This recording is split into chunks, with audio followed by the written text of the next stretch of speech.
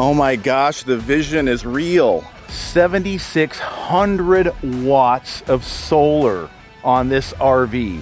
Holy cow. that is insane. You took your insane RV and made it more insane, So more insaner.